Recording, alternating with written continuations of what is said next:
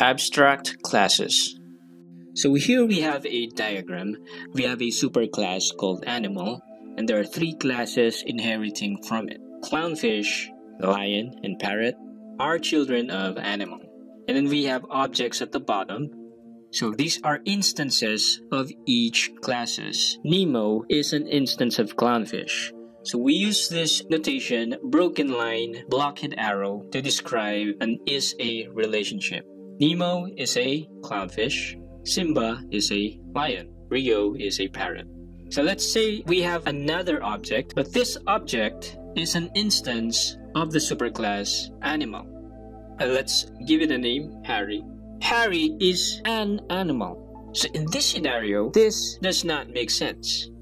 Okay? We're expecting objects to be either a clownfish, a lion, or a parrot, not just an animal.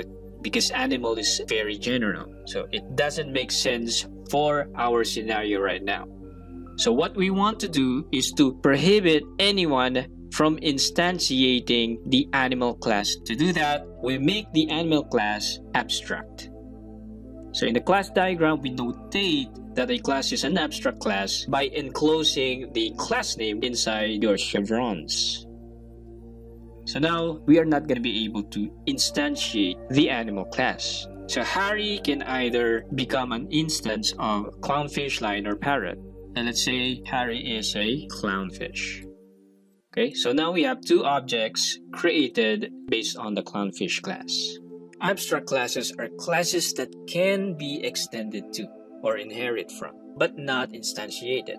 So these are classes that can have children or subclasses, but they cannot have objects. Let's create a new project.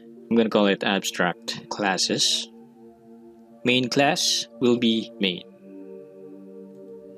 I'm just going to delete the comments. So we're not going to be creating separate class files. We can just define all the classes inside the same file as the main class. So let's start with the superclass animal.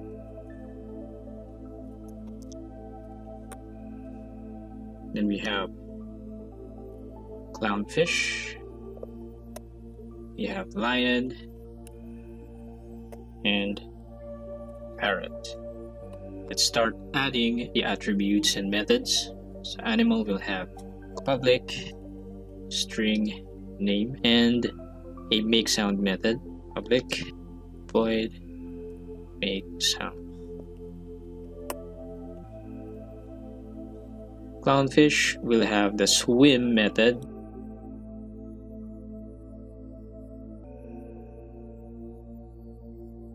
Lion will have the public, void, run. Parrot. The parrot will have the fly method. I'm just gonna copy paste this and change the method to fly. The next thing to do is to establish the child to parent relationships. So clownfish, lion, and parrot will be extending animal.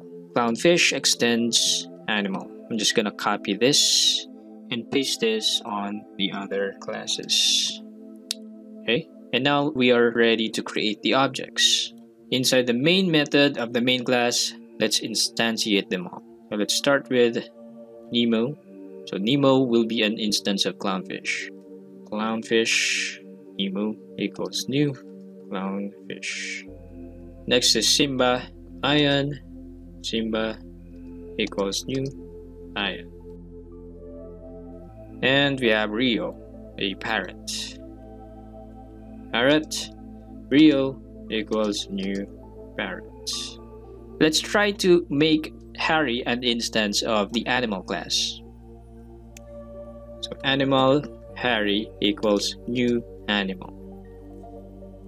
So this is going to be accepted Again, this doesn't make sense in our scenario. We want Harry to be either a clownfish, lion, or a parrot, and not just an animal.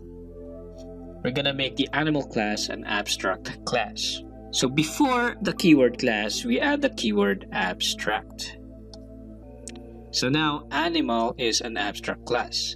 So you see here, we are getting an error now. It's saying animal is abstract and cannot be instantiated. So now Harry can only be an instance of either clownfish, lion, or parrot. So let's make Harry a clownfish. I'm just gonna copy and paste the class name.